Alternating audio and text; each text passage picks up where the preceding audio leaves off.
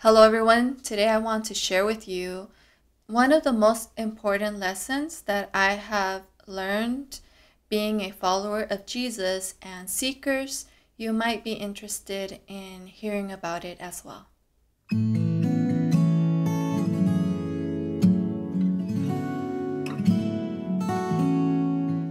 If you followed me along this YouTube channel, I think it's been about a two year journey so far. And maybe you've seen some of my earlier videos where I was so excited about discovering the truth in the Bible and what is the correct application and what is the truth, pretty much, about what the Bible is teaching. And along the way, something that has been really frustrating for me as someone that is, I would consider myself early in learning these basic teachings of Christianity.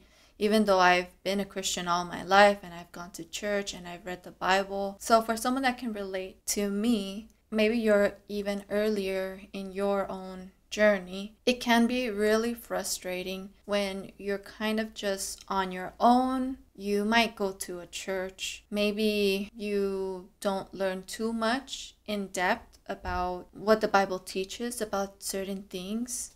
You might have a lot of unanswered questions. And sometimes church leadership doesn't really feel like they want to take a position or put that out there. A lot of churches don't want to cause division. So a lot of things might be better left untouched, or at least in their opinion. So you're pretty much on your own. If you have extra questions, maybe you can schedule a meeting with a church leader, or maybe you do have conversations with other Christians that might be a little more read on certain things. But maybe you find yourself in a situation where you're kind of a little isolated and you have a hunger to get some answers to your questions. You want to go more in depth about what your Christian faith is all about. And so perhaps, like me, you'll want to go to the internet and explore. Maybe ask a question on Google and you'll come up with so many different videos, different articles,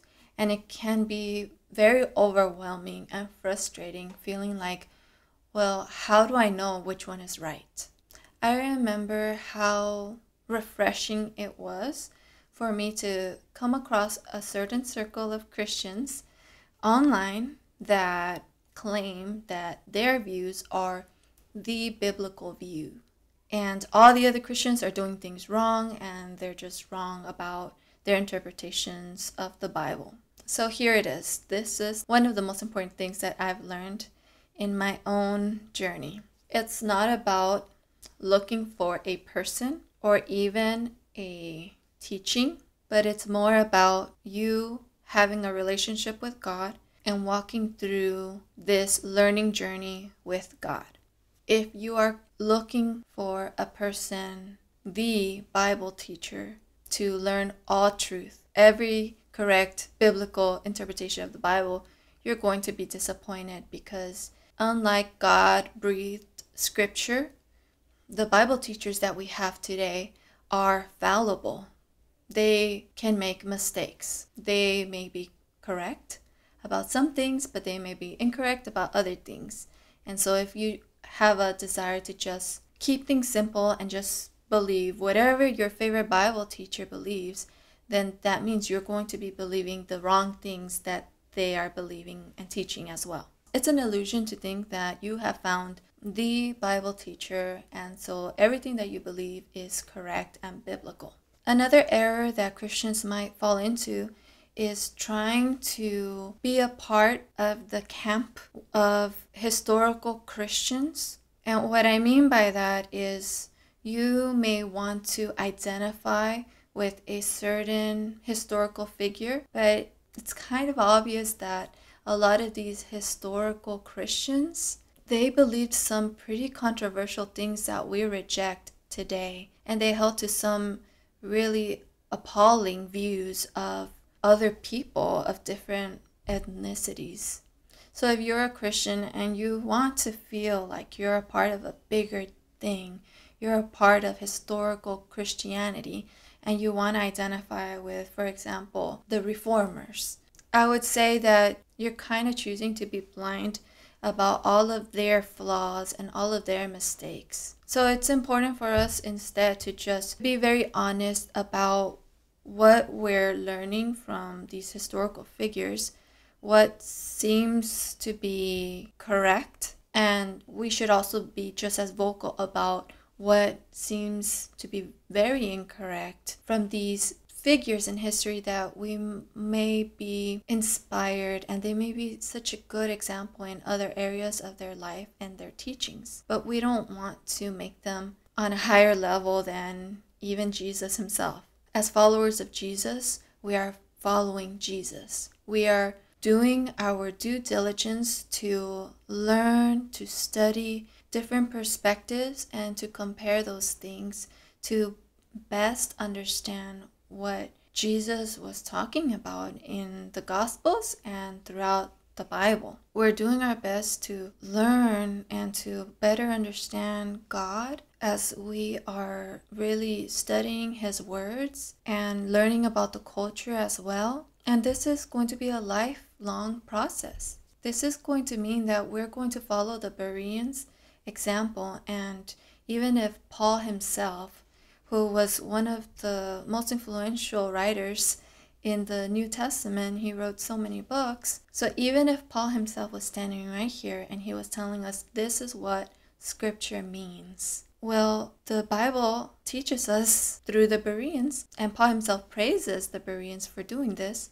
They searched the scriptures and they wanted to make sure that what he was telling them was the correct interpretation of scriptures and that this is the teaching that God is bringing to us, they wanted to do their own due diligence and search the scriptures and make sure that that in fact was consistent with scripture. And that is what we have to do as followers of Jesus. We need to be committed to doing our own due diligence and sure, let's listen to this camp over here of Christians let's look at this camp over here of Christians and instead of just focusing on, oh, they're heretics or, oh, these are all the things that they're doing wrong, instead, we can take on the mindset of, I'm so hungry to know what is God's truth. And I'm willing to find it whether here or here or here. And also, it's going to require us to not be intimidated. It's going to require us to have this close walk with the Lord and to explore these things, constantly praying about what we're learning with God and asking Him to reveal to us His truth. So, even as we're exploring, for example, apologetics, when we are considering the objections that atheists, for example, may raise, all of these things, because we love God and we want to know what His truth is, we're going to explore these things but being committed to our relationship with God and exploring these things along with Him. Often people want to separate, no, you should explore these things without like any commitment to a religion. But whether you are a seeker or whether you're a Christian, if you're honestly seeking and comparing and thinking critically about all the things that you are learning from different people, Christian or non Christians, if you're honest about it and you're really thinking through these things, you're comparing these things, and you are committed to the stronger reasons to hold to a view, then I believe whether you're a Christian or non Christian, I think you're going to see that there are very good reasons to hold to Christianity or to hold on to a certain view taught by someone rather than other within the Christian community. That's all I wanted to share with you guys today. If you enjoy watching videos like this one, please like this video and subscribe to this channel if you haven't already. And go ahead and let me know your own thoughts about this in the comment section. And remember to share this video with someone you know.